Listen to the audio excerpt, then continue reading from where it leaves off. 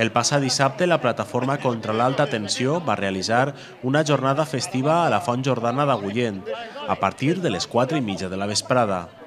La jornada va estar marcada per diverses activitats festives, formatives i d'espectacle, on menuts i majors van gaudir dels tallers, degustacions, cantautors, xerrades i concerts que han preparat per conviure en una vesprada d'esplai i diversió realitzada amb una temàtica única, la situació actual que s'ofreixen les serres i la necessitat d'un replantejament del desenvolupament de la línia d'alta tensió.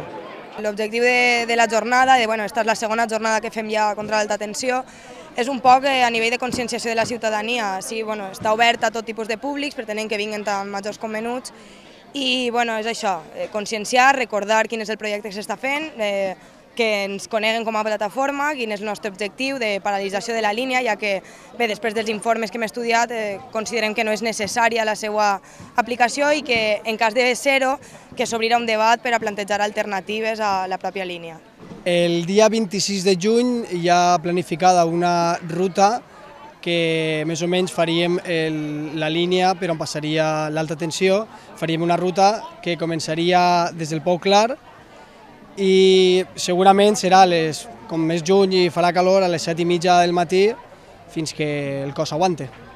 Entre els artistes que van donar suport a la causa van estar cantautors com Bausalva i Nelo, contacontes Almudena francès, grups de castellers del Vall dels Locos i grups com Smoking Souls de Pego, Pellicana, Fem Fum d'Ontinyent, Escampa el Poi d'Alcoi, Parlant de Revolta de València o Viruta d'Albaida. En novembre van crear primer un, un voluntariat eh, per part de l'Ajuntament i vam començar a partir de gener a fer reforestar la serra d'una part que es va cremar l'any 94, perquè enguany encara no es podia tocar el que es va cremar, i ahir vam estar replantant pues, eh, carrasques, eh, fleixos, pins, etc de plantes que a veure. I ara, pues, a part de l'associació que han creat, a partir d'enguany, de setembre a octubre, anem a començar a tractar ja parts de la serra cremar,